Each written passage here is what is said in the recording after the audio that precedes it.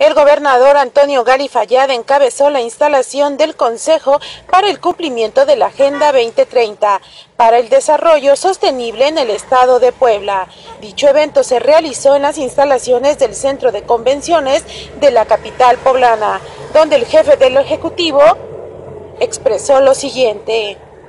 Eso es lo importante, que tiene la visión de una organización internacional como la ONU, la UNESCO, el gobierno federal. Yo le preguntaba a Adolfo Ayuso hace un momento, ¿cómo va a ser para poder platicar y comentar también este seguimiento? ¿Cómo vamos a lograr pobreza cero? ¿Cómo vamos a lograr hambre cero? ¿Cómo vamos a lograr países con sustentabilidad? ¿Cómo vamos a lograr combatir esa pobreza? ¿Cómo vamos a trabajar juntos en educación, en salud, en desarrollo económico, en impulsar mayores salarios? ¿Cómo vamos a trabajar?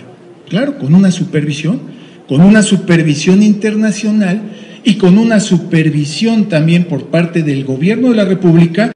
Con imágenes de Josué Guzmán, informó para Puntual Aurelia Navarro Niño.